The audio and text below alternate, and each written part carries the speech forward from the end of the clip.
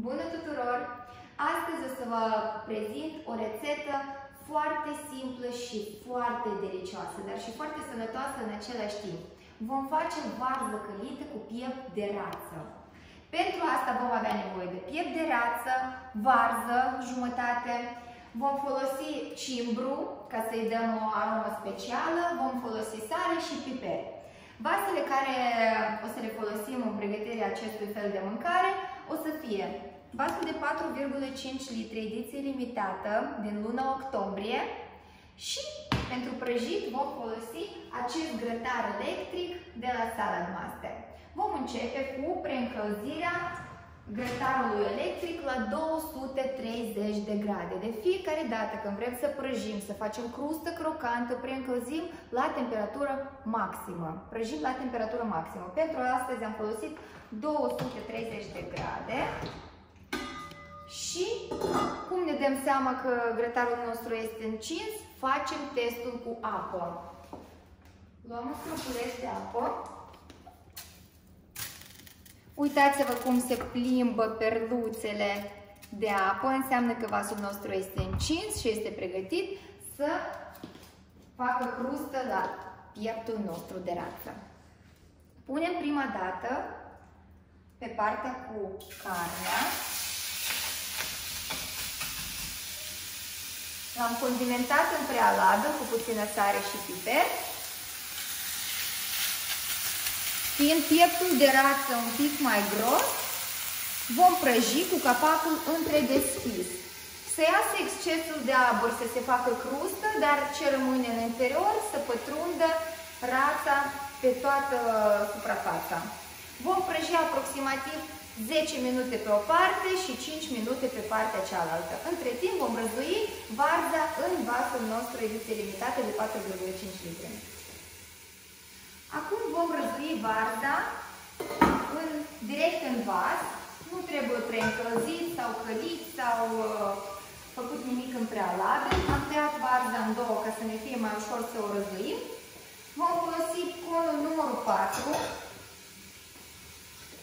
care îi se potrivește cel mai bine pentru acest fel de mâncare. Folosim uh, piesa noastră de rezistență, procesorul de la Salad Master. Este cel mai dorit produs, unul dintre cele mai dorite produse din gama Salad Master.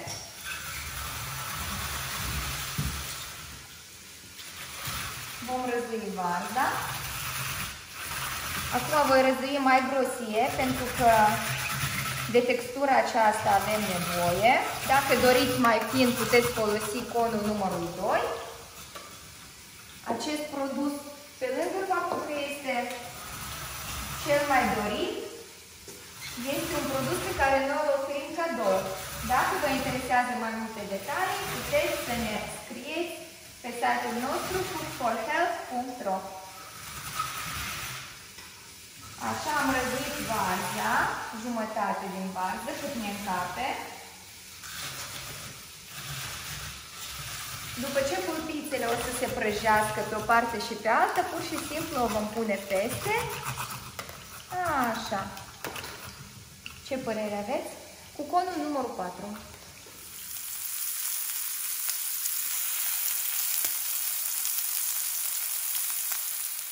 Au trecut 10 minute, întoarcem pe partea cealaltă pieptul.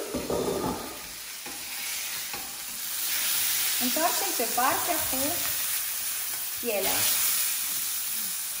Și mai lăsăm 5 minute pe partea cealaltă. Am răzuit varza, jumătate de varză și acum o vom condimenta. Vom pune sare, piper, piper proaspăt măcinat. Vă încurajez să cumpărați piperul întreg pe care o să-l măcinați ulterior pentru că altfel o să fie aroma. Și o să punem cimbru uscat sau proaspăt. Vă recomand să vă cumpărați un biveș cu cimbru și puțin mărar. Eu o să-l pun întreg ca să-l scoatem, o să lăsăm doar pentru aromă. Și când se va prăji pieptul de rață, o să-l punem peste varză și vom acoperi, bineînțeles, cu capac, setăm focul mediu, reducem la minim și lăsăm să se gătească pentru 30 de minute. Au expirat cele 5 minute, vom scoate peștul și îl vom pune direct peste peste varză. Vedeți că grăsime a lăsat. Nu este nevoie absolut deloc să punem ulei atunci când prăjim carnea în salad master.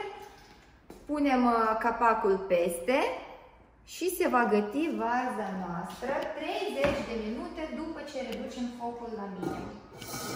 Este un moment foarte important să setăm focul mediu, nu focul mare, ca să se caramelizeze bine varza, să se facă varză călită fără ulei și un moment foarte important să așteptăm să sune clopoțelul constant. Ce înseamnă constant?